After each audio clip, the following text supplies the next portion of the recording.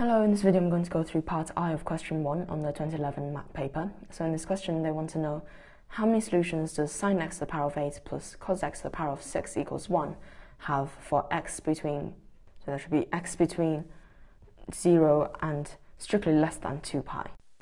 Okay, so one way to do this would just be the standard algebraic way where we replace either sine or cos so that we've got an equation just in terms of uh, sines or just in terms of coses. So let me call this equation star so you can refer to it later. Then I'm going to replace the coses just because it's to a lower power. So if I do that, well, cos the 6 is the same as cos squared cubed. And then cos squared is just 1 minus sine squared.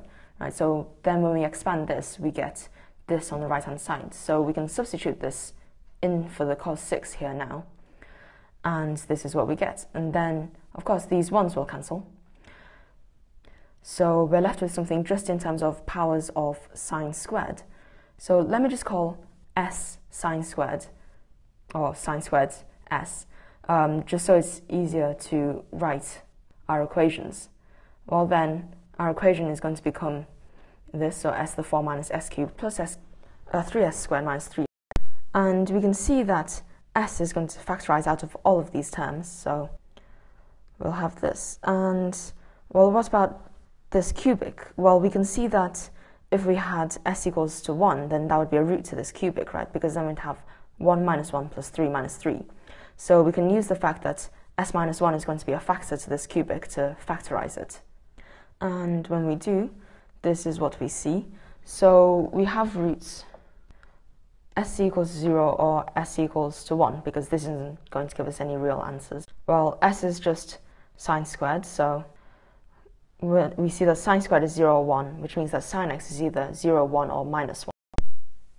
And in our range uh, 0 to pi, well, sine x is going to look like this, and we see that we're going to have four solutions when sine x is either 0, 1, or minus 1. So that'll be at 0, pi over 2, pi, 3 pi over 2, and we're not including the 2 pi here. So we have four solutions, and the answer is B.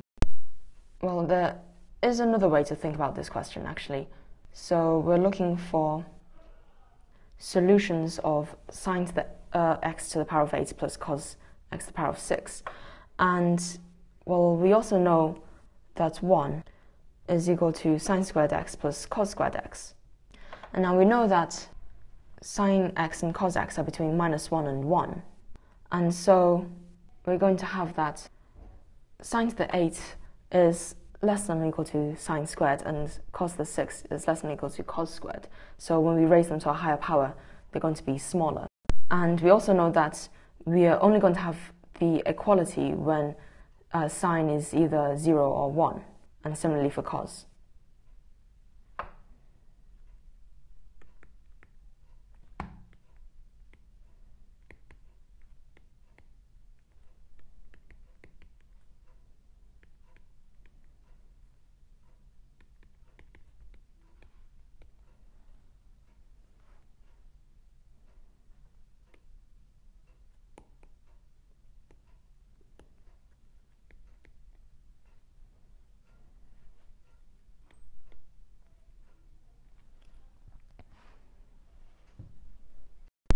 Well, then that's going to mean that we have uh, sine to the 8 plus cos to the 6 is going to be less than or equal to sine squared plus cos squared.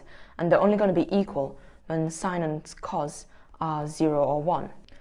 But we're looking for when it is equal, right? So essentially we want sine x and cos x to be either 0 or 1.